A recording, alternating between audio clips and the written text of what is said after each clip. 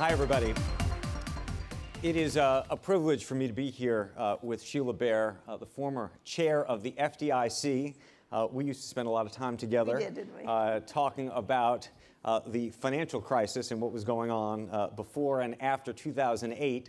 Uh, but uh, President Bair now uh, has been the president of Washington College for the past two years and uh, has been talking a lot about a potential other crisis uh, that is going on in the world of education, uh, which uh, has to do, of course, with the cost of education, the cost of student debt, and you've been very vocal on those issues, and we want to talk about them. Um, but I want to start the conversation here, which is to say you have gone from government running the FDIC Right. to now running a, a, a, a college. Right. You have seen the books of our own, uh, of Washington, and now you've seen the books of schools. um, what have you made of the last two years in terms of looking at the cost and the math yeah, of all yeah, of this? Yeah. Well, I, I think there are a lot of things going on. And uh, I think first it's important to understand that when you hear about these high sticker prices of tuition, that that's, that the sticker price generally is not the, the price that a student pays. Scholarships are, are typically uh, freely provided by my college and others.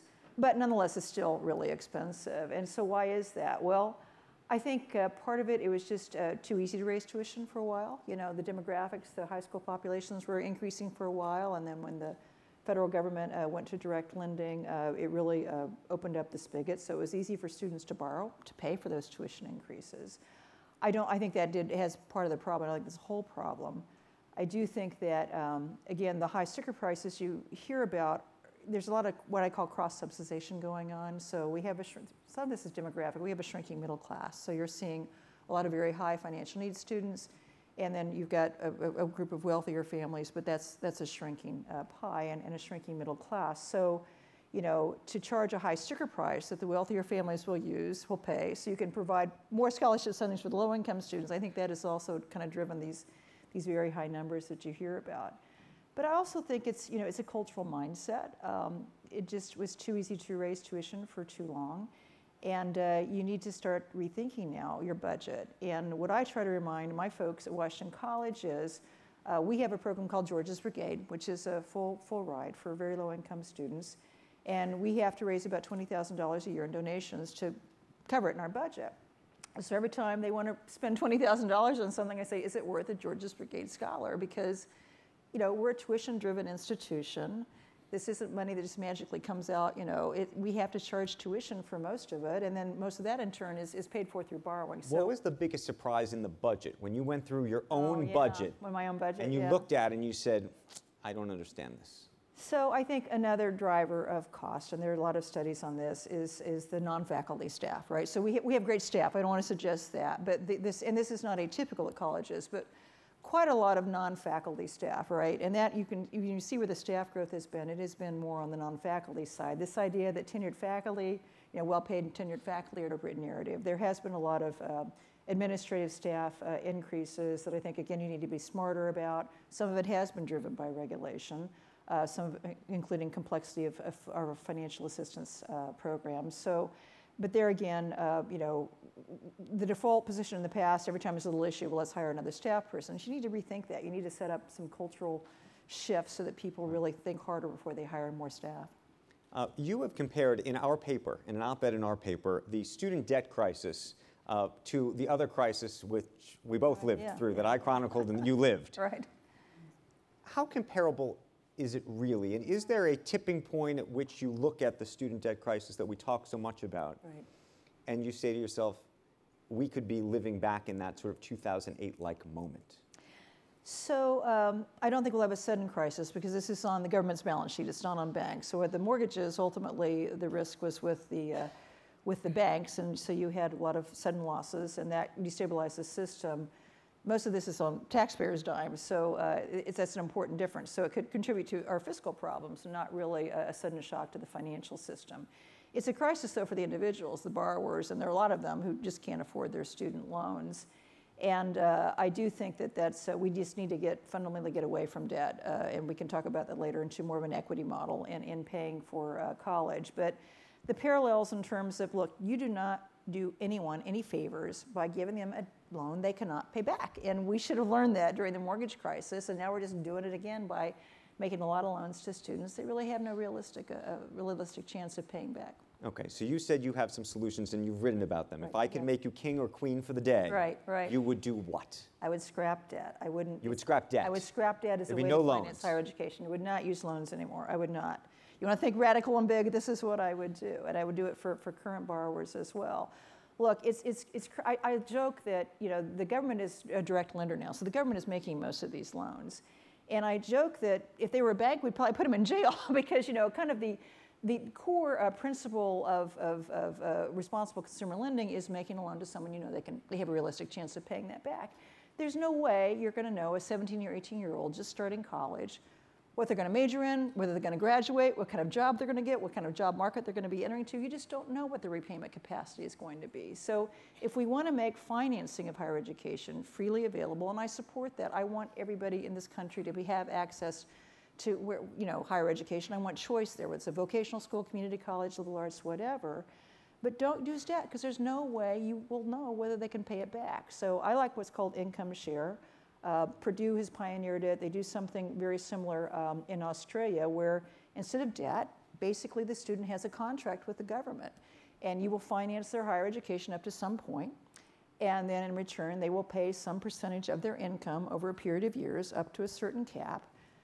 That's what they'll pay back. And that may be more than what was originally financed, it might be less. And here again, there's some cross subsidization because the, the kids that go out and work for hedge funds or tech companies or whatever make a couple hundred grand right off the bat.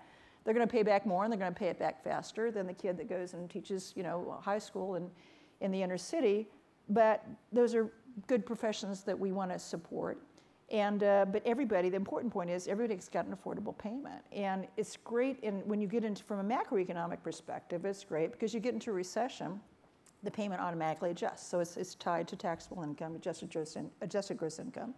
So instead of like when you have debt, as we saw during the mortgage crisis, debt's inflexible. You got to pay it back. You can't pay it back. You know, you go into default. The bank takes a loss, or whoever. You go into bankruptcy.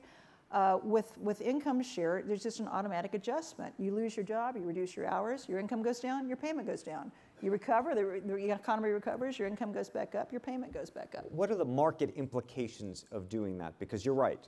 Yeah. If you go off and shoot the moon, uh, Right. whether you're in technology or Right. you Yeah, become a hedge yeah. fund manager, Right. Uh, that's one thing. Right. If you uh, get a job uh, in education, and, by the way, we want lots of people to have jobs in education, and We we'd do. love to, I'd love to figure out ways to subsidize that, but, yeah. But it does change the market forces. It does, but I think in a positive way. I think it promotes choice. You don't get into this whether we have it free for public and community colleges, but not for private. I mean, it, it promotes choice. I do think as a complement income share, you need to have some college accountability. So there does need to be, you know, if, if, if a high percentage of a, of a college's uh, graduates are not paying back uh, over you know some reasonable period of time. I think the college should have some skin in the game. I absolutely because I think you do that it reinforces the market discipline to make sure the college is fully invested, graduating that student and making sure that they uh, they have in, a job. in the short term, before the government takes us on to the degree they ever do, right. Yeah. is there a private market version of this that Mm-hmm. There you is, could yeah. see work? Well, I think Purdue has done that, and we're looking at it at Washington College. And actually, when the college itself is providing the income share, it beautifully aligns incentives because the college will generate an income stream through their income share if they graduate their students, if their students get jobs, and, and you know produce income to to uh, return, make payments on the income share. So uh, yeah, I think it's a good way. And you know, in talking with donors about this, uh, you know, if you want to endow a scholarship, for instance, so most colleges use a 5% draw on their endowment. So you give me a million dollars for a scholarship, I can spend 50,000 a year on that. So, you know, 5%. If you give me a million dollars for income share, I can fully deploy that whole million dollars, and then it will, the pool will replenish over time as the income share agreements come back, income share payments get back. But it's a much better leveraging, I think, of donor dollars, and again, not- really nicely aligns economic incentives. What do you make? People have talked in the private markets uh, of student debt, if you will, about saying, look, if you're going to major, uh, if, if you're going to be an engineer, uh, we'll give you a very low interest rate Right. because we think that this is going to work out for you. If you Right. want to be a Russian literature major, uh, we may assign you a higher uh, interest rate because we're not so Right. sure how quickly you're going to be able to yeah, make yeah, good on that. Yeah. A, does that make sense to you? And B, within the context of what you just described, would every university have every incentive to have every student go off and major as a, major in engineering? I, I hope not. I don't think so. And I look, there are different models to use, and I think you need some experimentation with this. My preference would be to have the same rate for everybody. And I think, especially for liberal arts college, look, hey, I was a philosophy major, so I didn't get a job when I graduated. I had to go to law school. But you know, over the years, uh, I think my philosophy major has better prepared me than any other training I had for the career that I've had. So I don't really want to pick and choose and say if you're an engineer, we're going to give you a better deal than if you're a Russian literature major. I do, I believe in choice. I think students are the best uh, judge of what motivates them, what their passion is, and then to use that uh, to have some type of sustainable career later on. And uh, so, no, I would not do it that way. I would have pretty much the same percentage uh, for everyone, but there are different models, and, and, I get the point you're making, but my preference would be to have the same rate for everybody. Uh, you, you, mentioned um, George's Brigade. You have another program which I love the name of. It's called Dam the Dam Debt. The Debt yeah. What is Dam the Debt? Dam the Debt's great, so DAM. A little double entendre there. Uh, so it's donor funded, and it's basically we just pay down our graduating seniors' debt. So what do you mean by that? Uh, so what we figured out, so um, if you make a gift to someone uh, to pay down their debt, or if you're the employer pays down the student's uh, debt after they graduate, it's a taxable benefit. So you know that is mitigated some bit. But we figured out we can raise money and just give them an extra scholarship in their final semester. It's not taxable; it's a scholarship, and we can actually reduce their federal debt. But we'll hold it till the end. We call it a back-end scholarship because we want it to be a reward uh, for graduating, and we use it as a retention tool too. So yeah, we've we've reduced We've made two payments last year and this year during my two years at Washington College. And we paid down about 10% of their federal tuition present and helps them have a little more financial flexibility when they enter the workforce. What do you think of the idea of free tuition across the board? You, yeah. probably saw some of the headlines, uh, yeah, Cuomo's proposal. Yeah.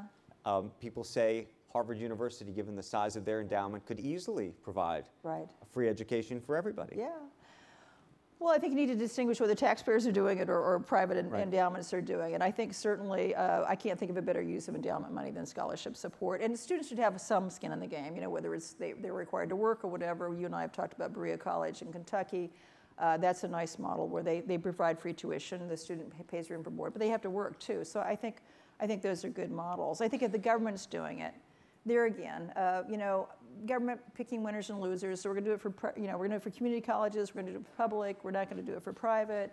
It skews choice, and I do think that uh, whatever you use, the, the, the, students should have a little skin in the game. If you make it completely free, you're probably going to be having a lot more students going to college without really thinking through whether college is the right choice for them. You know, I think you do want to slow them down a little bit, or if you know, if the, the four, if the public university is right, is a community college right, is a vocational educational uh, environment right, is a liberal arts college right. So I, I, do think, in terms of skewing market choice, I think I, I do worry as the president of a private college, if we're just talking about public college being uh, free. I get why people might want to do that, but then I do, think it skews choice away from private liberal arts schools, which are which I think are great. They're a unique part of the higher education system in the United States. Thus far, we've talked about the debt that students currently are taking on. Right. What do we do about all the debt that is outstanding? Yeah. Well, I I put everybody into income share. I absolutely would. You mean income share now? Yeah, I would just, if you've got a loan. Uh, Retroactively on, on, on a student who might no, have been in school a decade ago? I think anybody who still has outstanding debt. No, I wouldn't do that. No, you couldn't so do that. anybody who has outstanding debt, I would say let them put the, give them the option of putting that into an income share instead of a loan. What yeah, percentage do you think would take the deal? I don't know. You know, there would probably be some uh, good calculus about what's, you know, staying with their, their current plan or, or going to income share. Uh, but the nice thing about income share is you get downside protection. So even if you may right. be paying a little more than you would on a 10-year amortized loan, if you know if you get hit by a bus tomorrow and you're on disability all of a sudden, your, your payment's going I'm thinking away. the problem is that a high earner mm-hmm. today wouldn't necessarily jump into the income program given the, the, the, low interest rate, they would That's say. right. Well, prospectively, you need to put everybody into right. it, or you're going to have an adverse selection problem. But, uh, but in terms of current students, I would still right. let the, I would give them the op- option of income share. Look, you've seen the same studies I've right. had. This thing is a drag on the economy. I mean, young people tend to spend more of their disposable income. We have dramatically reduced the, the dollar amount of their disposable income because they have these, these very large debt payments. Okay, so here's the real question. This is all very theoretical and yep. fun to talk about. It is. However, to actually put it into practice is a different thing. However, you also have spent a lot of time in Washington, D.C., so you know about this. What's the chance the last 10 minutes of what we were talking about ever becomes real? Well, you know, the, the Trump budget, there, there were some issues with the Trump budget, but one thing, that they're moving in that direction. So the Obama administration had something called income-driven repayment plans, which are a step in the right direction, but it's still debt, and there's some, there have been some problems with, with, with the complexity and, you know, what happens if you, uh, you know, you, your, your debt balance can actually, your principal balance can actually increase in certain of these plans. So the Trump administration wants to consolidate all those into one. Fairly simple. It's 12.5% um, that you pay for 15 years if you're an undergraduate, 30 years if you're a graduate. And your, your monthly payment is capped about what you would otherwise owe if it was a 10 year loan. So, so that, that goes in the right direction.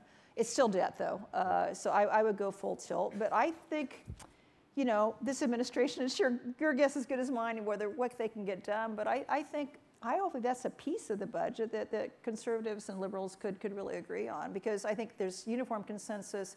This is the way to go. Make it based, if you want an affordable payment, make it based on income and dramatically simplify the programs we have now. Okay, final question from me, and then we're going to go uh, to the audience. I know Adam is out there uh, somewhere. Um, it's really off the topic of education, but given that you predicted the financial crisis the right. first time around, where are we now? so that is off topic. You know, I, uh, I, I, worry that uh, these reforms took a long time, and got, Godspeed to all my former uh, fellow regulators, and I was a part of the implementation process too, but it took kind of a long time. And I think there is, uh, there is uh, there's some legitimate concerns about the complexity of the rules and simplification, and maybe they're, they're too burdensome on the smaller institutions. But I worry that, that the political dynamic has totally changed back to you know, deregulate, uh, you know, let's uh, get back to the good old days. And I do worry about that. You know, from my view, I've always thought the capital uh, should be the most important, the centerpiece of any reform. We have raised capital requirements significantly. They're, they're, I think banks are still have a lot of leverage, though. So um, I don't know. I think uh, the financial system at this point uh, is much more stable than it used to be. But if there's an external shock, and there you get the political instability in, right? So if, if there's something that will spook the markets, I, I think you could have some, some issues again. So I, I, don't really rest easy. I still keep a sharp okay, eye so, on so, financial so regulation. Jamie Dimon, uh, the CEO of JP Morgan, famously told his daughter during the financial crisis back, at she was probably 17 years old, she called up and said to him, Daddy, what is a financial crisis? And he said, something that happens every seven to 10 years. well, true. if you think about where we are now, well, this recovery is long in the tooth. There's no, there's no doubt about that. And you know, the debt, the problems have shifted. So it's not mortgage debt anymore. Right. On the consumer side, it's, it's, it's auto, it's student debt. Uh, you're seeing credit cards right. creep up. Corporations have levered up a lot more with all these cheap interest rates. Governments have levered up a lot more with all these cheap interest rates. So I think if there's another crisis, probably the, the pockets of the, of the system that are going to be vulnerable are very different from what we saw in 2008. Okay, thank yeah. you for that. We're going to go to Adam, who I know has uh, yep. a number of questions from questions you. from the audience, right here. Can we get a microphone, please? And please introduce yourself. Uh, Dave Goldenberg, University of Hartford. Uh, one of the things people don't talk about is the fact that families want their sons and daughters having the state of the art in technology and engineering and in business and in math and in computer science. And they don't want third gen- them working on third generation. They want bleeding edge. and bleeding edge is expensive. Yeah. And that drives up part of the cost of higher ed, but nobody wants to talk about that part of it. So, so I, I memory than I do, but at least what I see with parents now is they're getting much more value focused. So it's not so much, and that's, you know, you can spill that out to the fancy dining halls and residence halls and, and all that kind of thing. And that, there's no doubt that that was partly driven by, uh, by uh, students and families. But I, I think this, the parents are getting a lot smarter now, and they're, they're looking at the cost, they're looking at the value, they're looking at the job placement rates, the graduation rates and the job placement rates. We're putting a big focus on career placement as well. And we pay for students to have internships and job shadows while they're there. We tell them to start building their resume as soon as they they come. So um, I, I, do think parents get a little smarter about that. But you're right, technology, and I, I don't want, again, there are a lot of different factors uh, driving cost. Technology, as some people argue, can lower cost, uh, but others, as you have say, it could raise it. And certainly a liberal arts college like mine, uh, you know, we're we don't have any big lecture halls or teaching assistants. We've got, you know, our average class size is 12. The faculty to student ratio is 1 to 12. Uh, everybody's taught, virtually everybody's taught by regular faculty member. Um, Again, a lot of experiential learning, getting kids outside the classroom. It is not a cheap way to provide education. It's a great way to provide education, but it's not inexpensive. Others? We do have some that have been sent in, so I'll go to those. Um, How have your various constituencies been pleased with your focus on, uh, sorry, have they been pleased with your focus on affordability and the initiatives you've implemented? Uh, What reaction are you getting from alumni and Yeah. donors? So, so I heard the earlier panel talking about governance colleges, and, and you, you have a lot of very different constituencies in colleges, and uh, it's, it's a very different, it's, it's, it's a government, governance model I've never, so I think uh, somebody, I, I talked to another very successful president when I took this job, and he said, if you can make everybody minimally unhappy, you will have succeeded. so I, I think, I hope I've done a little better than that, but I would say on affordability, I, I think actually there's been a lot of buy-in. Uh, certainly the, the families and students really, really appreciate it. The faculty do too, especially because part of my emphasis has been what budget we have, let's put into our academic program, get smarter about the, uh, the administrative side. So I think for the most part, uh, it's not, you know, you can never get consensus on anything, but I think for the most part, it, it's been well received. Okay, next question. Um, Sandy Baum says, "A great deal of debt is held by non-completers who have low incomes. Will they be able to pay back, and are incentives aligned?" Yeah. Well, that's a really good question. And if you look at the, the, the major pockets of distress, it is it's with the borrowers of 10, you know 10, borrowing ten thousand dollars or so, but they typically are the low-income kids, and so a ten thousand dollar loan for them might be you know eighty or ninety thousand dollars for us. So I I, I think uh, that's a and, and they don't finish the degree, and so they don't get the enhanced earnings potential, and they still have the debt. So again, don't want to sound like a broken record, but that's why we need income share. Because if they don't finish their degree, whatever job they have get, their payment's going to be calibrated to uh, what they're actually earning. But I do think, you know, it's an investment, government's investing, I, I do think taxpayers are investing. I do think if somebody's capable of paying back something, they should. But again, with income share, it automatically adjusts. I've got more questions, but any other hands? I want you to know I'm not a typical millennial, just always checking my phone. I'm checking it for a reason. Um, how are you bringing down tuition and fees at your school? So we're trying to get very smart about our budget. I froze tuition the first year with, with, with good support from my board. Uh, and this year we have instituted what we call fixed for four. So we are slightly increasing tuition by 2%, but then we're freezing it for all four years. So tuition in the fall, the students entering the fall will have the same tuition level for the full four years. And on the budget side, uh, we're just trying to, don't, I don't lay off people, I don't believe in that, but when we have a vacancy, we review it. Do we need that job? Could that combine with another job? Can we use technology better? Um, I, and I, you know, I, I put uh, the spending decisions, again, based on, you know, what it costs in terms of a scholarship for a student. And is it, is it worth that student? If you want to spend every $20,000, is that worth a student? So I think it, it slows people down. And, you know, you, listen, you're always going to have to spend. I mean, there are, there are expenses. And you have building, you have plant. Uh, I like, one thing we've done uh, as well is to really try to redirect philanthropy to scholarships. Uh, you know, I say invest in people, not buildings. You need buildings, but you know, if you, the, I think probably the most compelling use of a, of a philanthropic dollar is for scholarship, is for help a help a young person uh, who cannot otherwise afford to get a good education. Okay, that's great. Back to you, Andrew. Mm-hmm. Makes the ask a lot easier. Yes, it does. We were talking backstage about, as a president of a university, you have to make the ask You all have to make the ask all the time, yes. But when you're asking for students, it's, it's an easy thing to do. Sheila Bair, thank you for the Thank you. conversation. Thank you. It was good. Thank you. Great. Great. Bye-bye.